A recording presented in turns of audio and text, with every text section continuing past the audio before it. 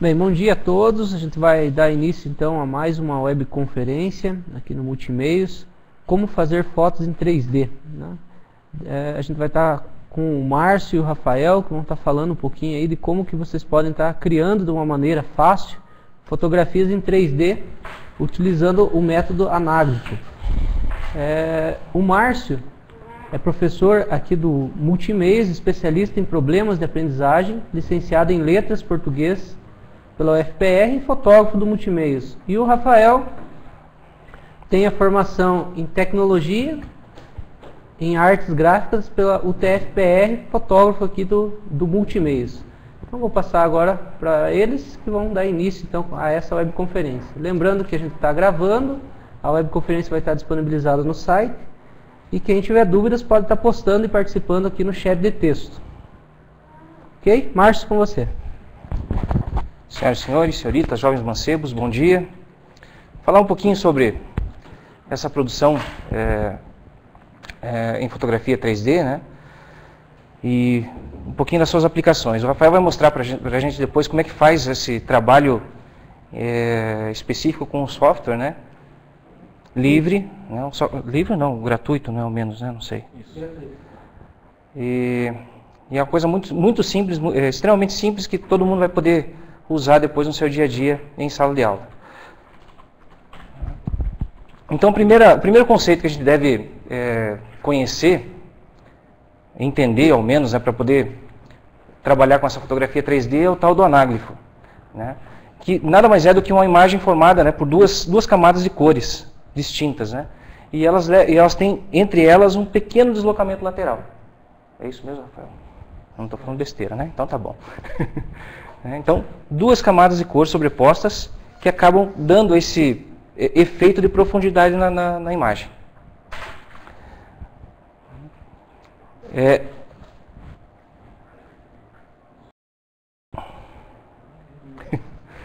Esse objeto, normalmente a gente faz, a, o, centra né, o objeto de, de, de, de, atenção da, da, da imagem no centro e aí a gente desenvolve ali né, no programa, vocês vão ver que a gente é, marca alguns, te, alguns pontos específicos dessa imagem e é ela que vai saltar, que vai fazer frente né, ao, ao fundo da imagem.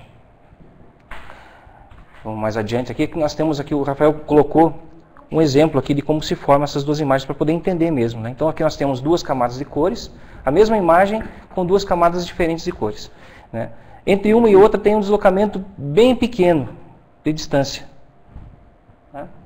Ô, ô Márcio, só para me entender, é. essas fotos 3D que a gente está falando é aquela que tem que usar o óculos, né? Cara? Exatamente. Não sei se o pessoal lembra daquelas fotos que até nos anos 80, no final dos anos 80, começo dos anos 90, né? Teve aí um, um brinquedinho aqui. Uma série de livrinhos aí que vinham com, com óculos 3D e tal.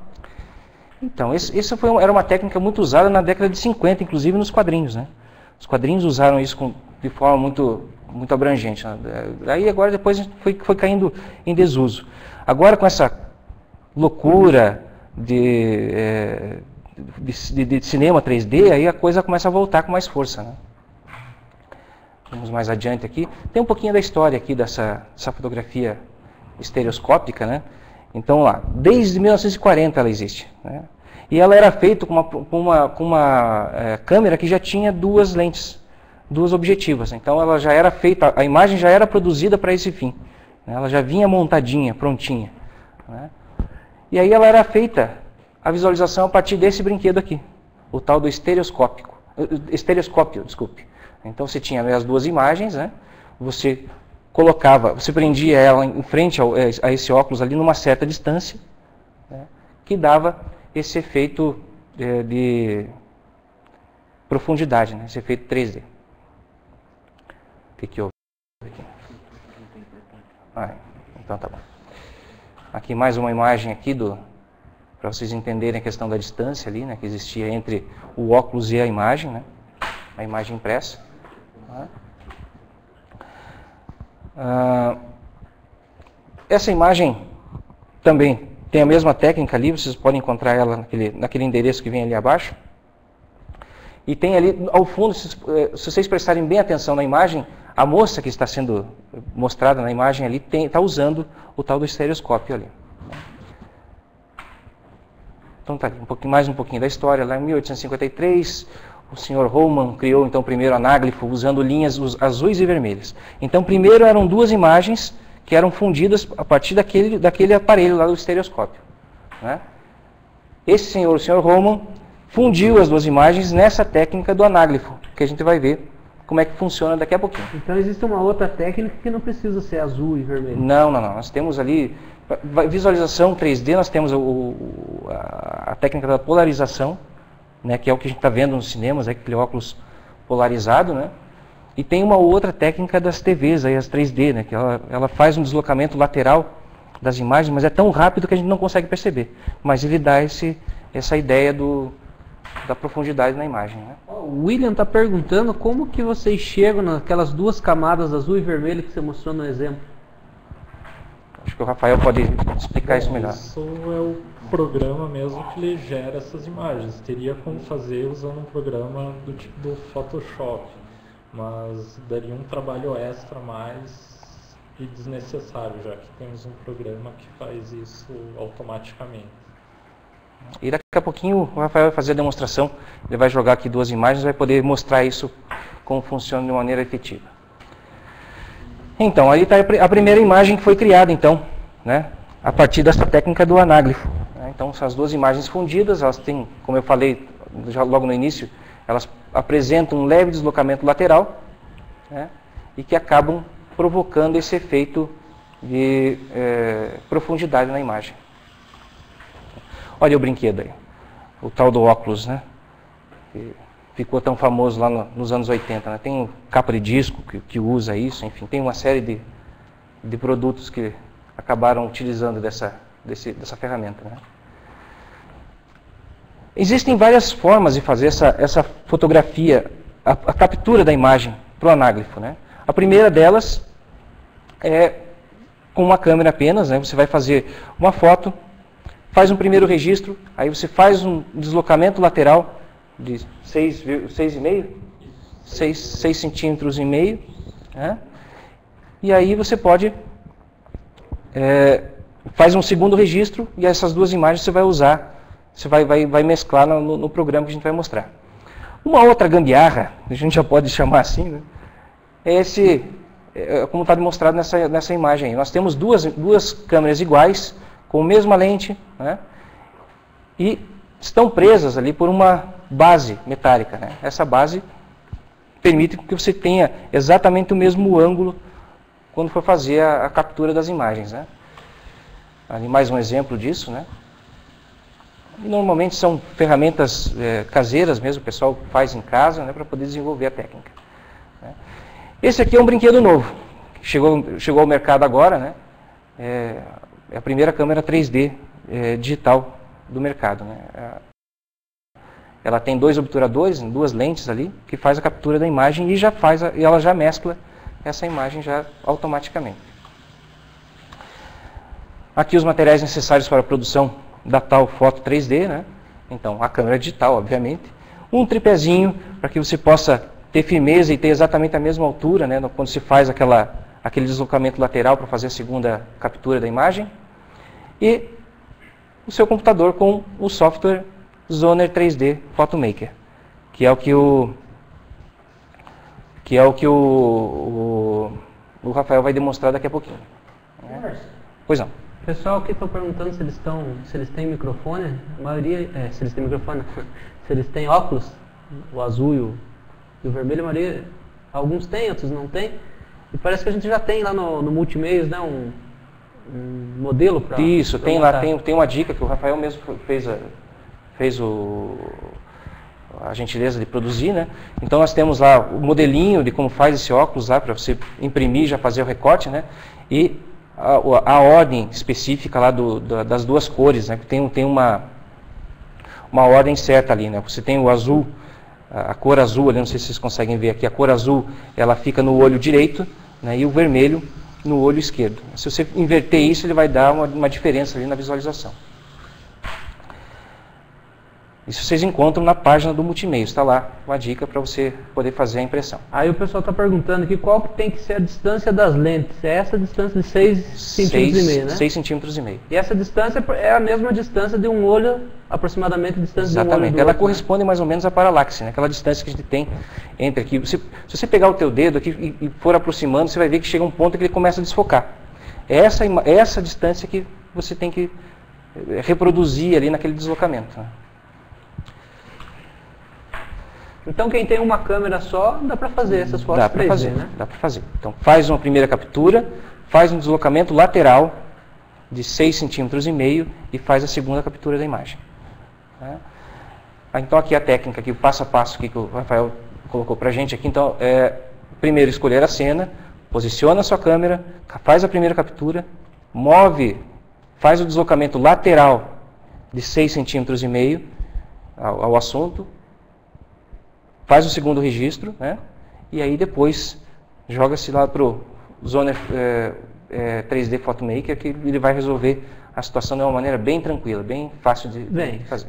Você falou em gambiarra, uma gambiarra maior é fazer uma com, a o olho esquerdo, a outra com o olho direito, né? Só que você não pode errar o... Não pode errar, o problema é É assim. mais fácil com o tripé, né? É com o tripé, com Fazer o certeza. deslocamento no- horizontal com o tripé. Mas se não tiver um tripé, também dá para dar uma, uma tentada, né? Faz o teste, Faz uma né? com o olho esquerdo e outra com o olho direito. Isso. Então tá ali, né? O, é, foto inclusive que o Rafael produziu numa das nossas é, saídas para produção externa, né? então ele tem a demonstração do deslocamento do tripé, né? E aí a primeira foto, a primeira e a segunda foto, se vocês observarem com muita calma, vocês vão ver que tem um deslocamento lateral ali, né? E aí a foto produzida depois no software, no, no, no Zone Photo, no 3D Photomaker. Essa aqui é a primeira é, é, página, vamos colocar assim, primeira, primeira tela né, do, do, do- do programa. Né? E, mas o que é interessante está aqui, ó, nesse momento exatamente. Né? Então você tem um link ali para o download desse programa. Né? E ali tem um link também para registro gratuito. Essa era uma ferramenta que antigamente é, não era gratuita, mas agora está liberada. Então você faz aquele, naquele segundo é, é, endereço, você consegue lá o, o código de registro do programa. Tá bom? Eu vou passar então para o Rafael. Ele vai fazer então a, a demonstração desse, desse é, software. Para vocês verem que uma coisa bem tranquila, é bem fácil, não tem segredo algum. é, a, a manipulação desse, O desse William, software. o William está perguntando se tem como fazer isso com uma foto só. A gente até está testando, né? Nós estamos fazendo alguns testes ali, né, ainda não, não deu muito certo, mas eu acho que é possível sim. É, o efeito talvez não seja o mesmo, mas é, é possível É dar um possível, efeito é. 3D. Às vezes, ou, ou deslocando lateralmente essa imagem, ali, é, acrescentando uma, uma margem, ou então fazendo uma distorção na perspectiva da imagem, como o Rafael fez ontem e deu um resultado bem interessante. Então, na verdade, aparentemente é possível, mas a gente ainda está testando. né? Uhum. Então, passar para o Rafael a. Falar um pouquinho do software agora. Vou deixar um pouquinho tela cheia aqui para o pessoal, vamos perder o chat um minutinho, a gente já retorna daí. Bom, então vamos dar uma olhada aqui na, no funcionamento do programa Zoner 3D Photomaker. Essa tela inicial, como foi mostrada antes, ela já mo- mostra algumas dicas de como você pode operar o programa, mas tudo em inglês, infelizmente. Então, o primeiro passo é clicar aqui embaixo no botão avançar para abrir a próxima tela. Nessa tela que apareceu agora, a gente deve selecionar a pasta onde estão as fotos já previamente produzidas. Procura- procuramos aqui a pasta, damos OK. E aqui ele vai mostrar para a gente todas as fotos que estão dentro dessa pasta. Então devemos selecionar de duas em duas. No caso, nessa pasta só temos duas imagens. E novamente clicamos em avançar. Nessa nova tela, o programa pede que a gente clique em alguns pontos-chave dessa imagem para ele fazer o, a- o alinhamento das imagens. No caso, a gente vai selecionar o assunto principal que a gente quer que fique destacado na imagem final. Que é o que vai dar aquele efeito que está saindo da tela. Isso, é o que vai ficar destacado em 3D realmente. E ele já vem com alguns pontos selecionados que ele mesmo tenta alinhar, alinhar a imagem. Primeiro vamos deletar todos esses pontos e daí podemos começar a clicar em cada ponto da, da, do objeto que queremos que fique em destaque. E sempre verificando do lado direito se está é, alinhado cada ponto com outro ponto. Então vamos, vamos criar alguns pontos. Aí você vai dar destaque para a torre, né? Isso, para essa primeira torre aqui. No caso, ele não está vendo nenhuma variação de uma imagem para outra aqui, então não há nenhum ajuste a ser feito, só continuar clicando e selecionando pontos. Já selecionei a torre, daí vamos novamente no botão avançar. Nessa outra tela ele, ele permite que a gente faça um ajuste fino já da imagem em 3D. Nessa, nesse momento é legal você já ter o óculos em mãos e fazer esse, esse ajuste olhando através do óculos. Para fazer o ajuste fino, nós temos aqui do lado esquerdo alguns botões que vão movimentando as duas imagens. Para a esquerda, para a direita, para cima, para baixo e tentando ajustar um pouco o ângulo, no caso ter havido alguma variação de ângulo na captura das imagens. Vamos demonstrar aqui o, o uso dos botões, dá para ver que ele vai deslocando as imagens, vai ficando bem visível o efeito ali. Mas o ideal é deixar a imagem central que a gente já alinhou é, com as duas imagens sobrepostas e ao redor as, com essa variação entre o vermelho e o azul. Estando feito o ajuste, se estiver satisfatório, é só ir em avançar, que ele vai gerar a imagem final. Daí ele só te dá uma opção que é salvar ou cancelar e sair do programa. Então vamos salvar a imagem. Escolhemos aqui a pasta de destino e nomeamos a imagem.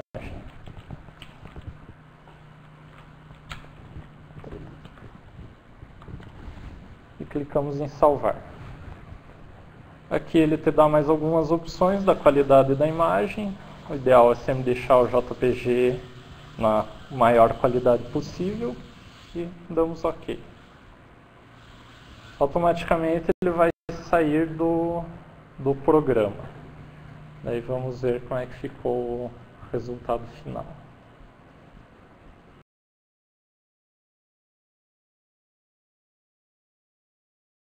É quem tiver óculos aí pode estar tá vendo o efeito, né? Exatamente.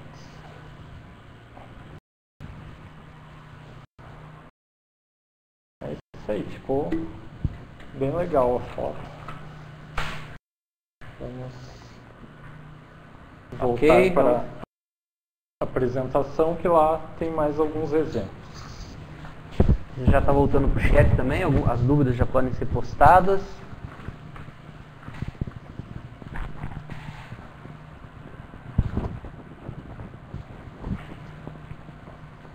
O pessoal conseguiu acompanhar aí? Pode colocar o link, mas o endereço já está tá, tá o link. Tá ali. Uhum. Então aqui a gente colocou o link direto para o download do, do arquivo do óculos, que é só imprimir e seguir os passos para criar o seu próprio óculos 3D, no caso, para não, não termos. A, a Thais está perguntando se é possível produzir essas duas fotos com qualquer tipo de câmera. Sim, qualquer tipo de câmera, desde as compactas mais simples até câmeras profissionais mesmo. O Jorge pergunta se basicamente é tirar as duas imagens do registro com diferença de 6,5 centímetros. Isso. Na horizontal 6,5, mas o plano tem que ser o mesmo. Se você der uma, por isso que isso é em tripé é difícil. Você vai fazendo com a mão é, é muito difícil enquadrar do mesmo jeito, né? Sim, por isso que eu estando no tripé, pelo menos a altura vai ficar a mesma, as variações vão ser mínimas, na verdade. Uhum. A Juliana está perguntando onde que nós conseguimos o software. Na apresentação aqui vai ter o, o, o link, né, para fazer o download. Esse software era pago, daí agora ele é freeware, você pode baixar ele, depois tem um link para fazer o registro gratuito e você pode estar tá utilizando. É, tem uma curiosidade em relação ao óculos, né? É, tem o lado certo para colocar a cor, né? Tem, isso. Tudo isso tá, tá nas instruções se você, aqui. Se colarem errado a cor ali, no lado errado, já não vai dar um, é, efeito. Você né? vai ter que virar o óculos ao contrário para conseguir visualizar a foto. E um outro detalhe é em relação ao azul, né? Tem que ser ciano. Isso, é isso, né? Ciano. Esse software é somente para Windows? Esse o Zoner acho que é só O Zoner é só para Windows. A gente não testou ele com o emulador para ver se funcionava, mas existem softwares para Linux também. A gente até testou, mas o que deu o melhor efeito foi esse, né? Isso. Por conta de ter aquele controle da dos pontos, os outros ele fazia automático, né? Exatamente. Nesse a gente tem um controle maior sobre a imagem. O, o Jorge que está participando aí com a gente está dizendo que funciona pelo Wine. Não sei se ele está afirmando ou se ele está perguntando. Confirma lá, Jorge. Daí aqui a gente tem mais alguns exemplos de fotos produzidos aqui no Multimeios que a gente já está usando essa técnica. Quem tiver o óculos aí pode ver o efeito, né? O efeito 3D das fotos. Pessoal sem som. Som. Pessoal, som voltou?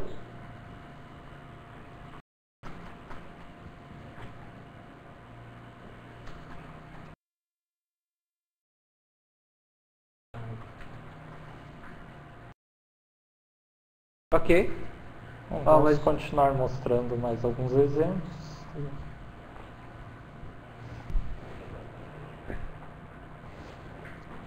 Para quem olha sem óculos, parece que é uma foto borrada, né?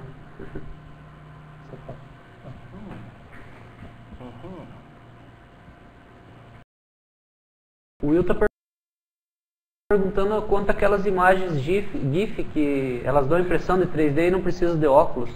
Isso, dá para a gente produzir essas fotos a partir desses dois arquivos. É só você gerar uma animação em GIF com um programa de edição de imagem, tipo Photoshop, que ele vai dar um efeito parecido com isso. Talvez tenha que fazer algum ajuste a mais ou não, mas é, são praticamente as mesmas fotos, a mesma técnica, só que daí o programa para finalização que seria outro.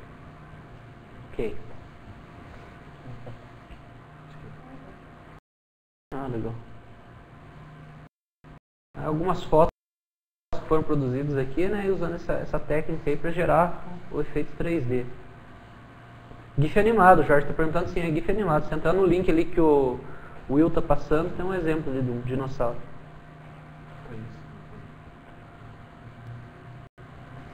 É, com óculos o efeito é melhor, né?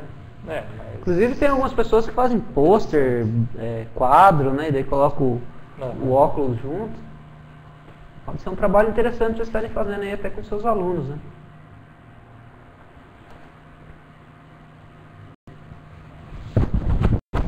Thaís está perguntando ali dos filmes 3D.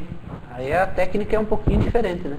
É, daí eles usam os polarizadores lá, que é é outra técnica. É, eles têm uma câmera especial, né? Então...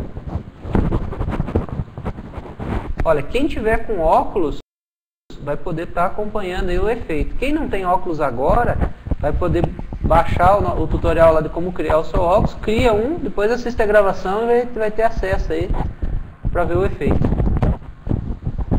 O link para o programa, dá para voltar ali na, na apresentação, lá tem o, o link, deixa já Acho que já passou. Não, mas aí. Aí o link pro, pro programa, né? Ó, o link pro programa tá aqui. É o primeiro ali, primeiro endereço. Copia e cola lá no, no chat de texto lá já. Opa, acho que vai ter que sair. É isso. E aí o segundo endereço ali é o de registro. Vamos colar ali no chat de texto ali pro pessoal.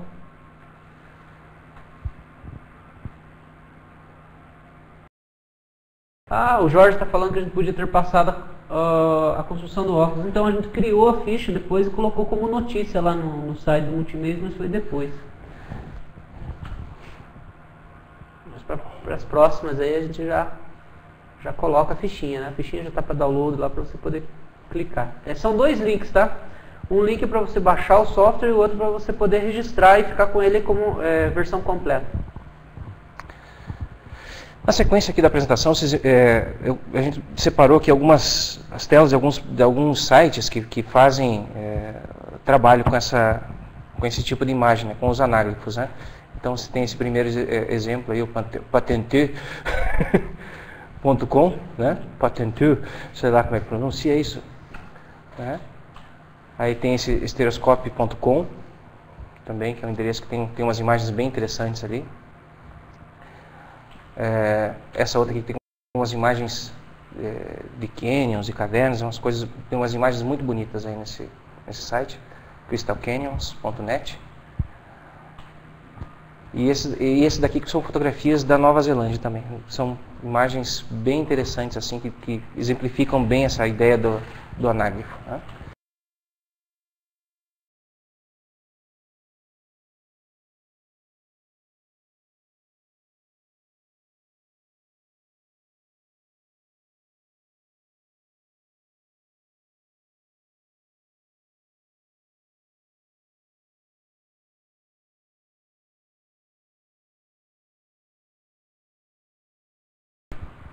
Voltou? Volta.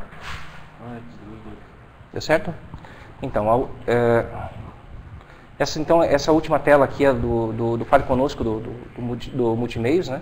Então, qual, qualquer dúvida que apareça, né, que, que vocês têm em relação a esse tipo de, de imagem e em relação ao programa também, vocês podem estar encaminhando, que a gente vai respondendo né, assim que for possível. Ok, pessoal? Alguma dúvida, alguma sugestão aí a respeito do, da produção de fotografias em 3D? Na verdade é uma técnica bem fácil, né? Bem tranquilo. Bem, bem simples. Bem a questão tranquilo. é acertar a mão para fazer as fotos, né? Esquerda e direita. É isso aí. Deixa o chat aberto aí para o pessoal que tiver alguma dúvida, quiser enviar alguma sugestão.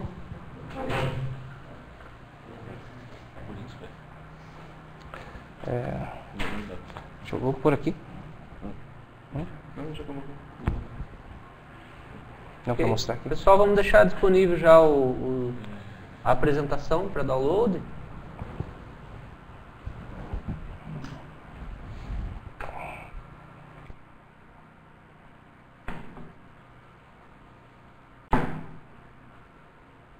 Vocês podem estar fazendo download clicando ali no como produzir fotos 3D e salva no seu computador. Bem, esperamos que vocês tenham gostado. E em breve a gente vai ter mais uma rodada de webconferência aí no, no mês de junho. Acompanhe lá no, no site do Multimês.